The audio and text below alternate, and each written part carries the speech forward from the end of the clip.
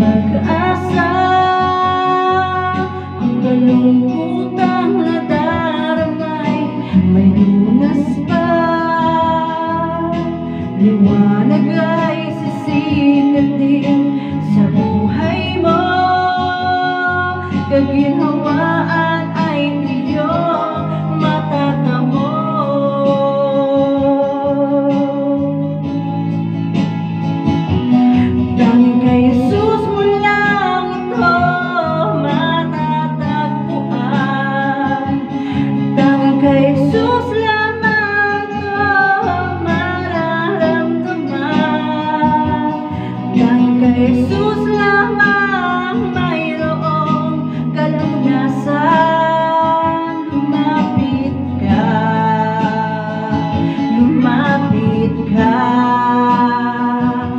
and now